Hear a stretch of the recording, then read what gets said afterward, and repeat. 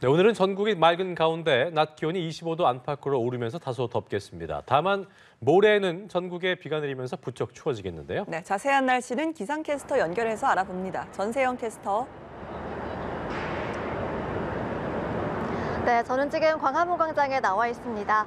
하늘이 흐렸던 어제와 다르게 오늘은 맑은 하늘이 드러나 있고요. 낮 기온도 다소 오르겠습니다. 2시를 향하는 현재 가을볕이 내리쬐면서 다소 덥게 느껴지고 있는데요. 오늘은 큰 일교차만 염두에 두신다면 바깥 활동하기 참 좋겠습니다. 오늘은 고기압의 영향을 받아 내륙을 중심으로 낮 기온이 25도 이상으로 오르는 곳이 많겠습니다.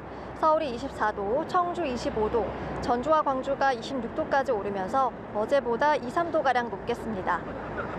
전국이 대체로 맑지만 동쪽 지역엔 가끔 비가 내리겠는데요. 강원 영동은 오후까지 최대 20mm의 비가 내리겠고 경북 동해안에도 5mm 안팎의 약한 빗방울이 떨어지겠습니다. 한편 모레는 전국에 다소 많은 양의 비가 내리겠는데요. 서울 등 수도권에 최대 60mm의 비가 예보돼 있습니다. 올해 전국에 비가 내린 후에는 날씨가 부쩍 쌀쌀해질 전망입니다. 이번 주말 서울 등 곳곳의 낮 기온이 20도 안팎으로 내려가겠고 특히 일요일에는 중부지방의 아침 기온이 한 자릿수로 내려가 급격히 쌀쌀해지겠습니다.